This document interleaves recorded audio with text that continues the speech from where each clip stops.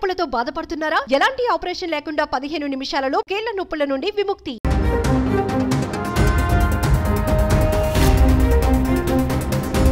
ఏ దేశ అధ్యక్షుడి పేరు గుర్తున్నా లేకున్నా ఉత్తర కొరియా అధ్యక్షుడి పేరు మాత్రం ప్రతి ఒక్కరికి తప్పకుండా గుర్తుంటుంది. అందుకు కారణం అతని పాలన.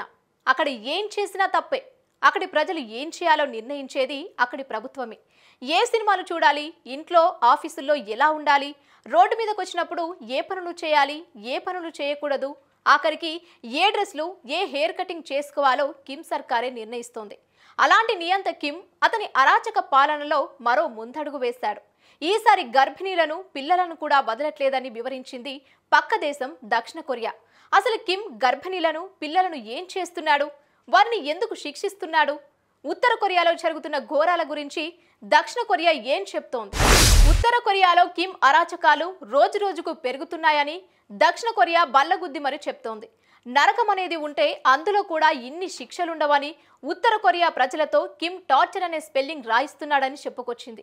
ఇందుకు సంబంధించి రెండు వేల పదిహేడు నుంచి రెండు వేల ఇరవై రెండు మధ్యలో తమ మాతృభూమిని వదిలేసి వచ్చిన దాదాపు ఐదు వందల మందికి పైగా ఉత్తర కొరియన్ల నుంచి వివరాలను సేకరించి సమగ్రంగా దర్యాప్తు చేసి మరీ ప్రూఫ్స్తో నివేదికను ప్రపంచానికి చూపిస్తోంది.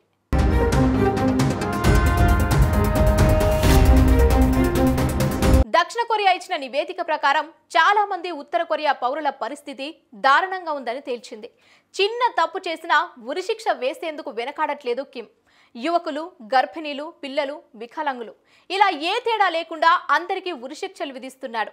మానవత్వం అనేది మరిచి రాక్షసంగా ప్రవర్తిస్తున్నాడు ఇందుకు సంబంధించి అక్కడి నుంచి వలస వచ్చిన ప్రజలే ఎన్నో విషయాలు చెప్తున్నారు. ఏ రోజు ఎవరెలా చనిపోతారో కూడా తెలియని పరిస్థితి ఏర్పడిందని చిన్న తప్పు చేసినా పెద్ద పెద్ద శిక్షలు అమలు చేస్తున్నారని ఉత్తర కొరియా నుంచి వలస వచ్చిన వారు చెప్తున్నారు. అక్కడి అరాచకల విషయానికి వస్తే ఓ ఆరు నెలల గర్భిణీ స్త్రీ ఇంట్లో దివంగత కిమ్మిన్ సంగ్ చిత్రపటం ఎదుట డ్యాన్స్ చేసిందనే కారణంతో ఉరితీశారు. గర్భిణి అని వదిలిపెట్టాలని ఆమె వేడుకున్నా అక్కడి సర్కార్ వినలేదు. ఆమెను ఉరిసీశారు. అదేవిధంగా దక్షిణ కొరియా మీడియాకు సంబంధించిన ఏదైనా ఆన్లైన్లో షేర్ చేసినా అక్కడి నుంచి డ్రగ్స్ తీసుకువచ్చిన వారందరినీ ఉరితీశారు. ఓ ఆరుగురు యువకులు సిగరెట్ కాలుస్తూ దక్షిణ కొరియా సినిమా చూసినందుకు వారిని ఉన్న చోటే కాల్చి చంపేశారు.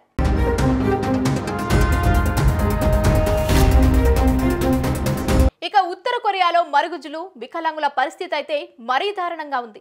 చాలా మందిని బెదిరించి బలవంతంగా మానవ ప్రయోగాలలోకి దించుతోందని వెల్లడించింది దక్షిణ కొరియా. నర్సుల చేత మరుగుజ్జుల జాబితాను బలవంతంగా తయారు చేయించి వారిపై మానవ ప్రయోగాలు నిర్వహిస్తోంది కిమ్ ప్రభుత్వం. మరుగుజ్జులు వికలాంగులపై మానవ ప్రయోగాల కోసం నిద్ర మాత్రలు ఇచ్చి ఆసుపత్రులకు తరలించి వారిపై ఇష్టానుసారంగా ప్రయోగాలు నిర్వహించి చచ్చిపోయినా ఏమాత్రం పట్టించుకోవట్లేదని తేలింది. పైగా తమ వారు ఏమయ్యారు అని ప్రశ్నించే హక్కు కూడా అక్కడి ప్రజలకు లేకుండా పోయింది.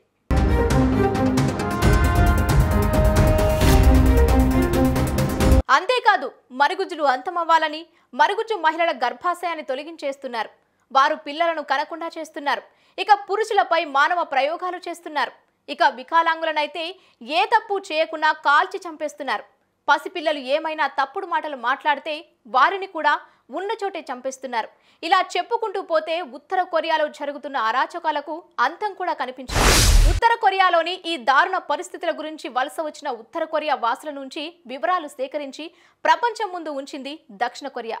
భయంకరమైన మానవ హక్కుల ఉల్లంఘనలకు సంబంధించి సుమారు నాలుగు వందల యాభై పేజీల నివేదికను బయటపెట్టింది.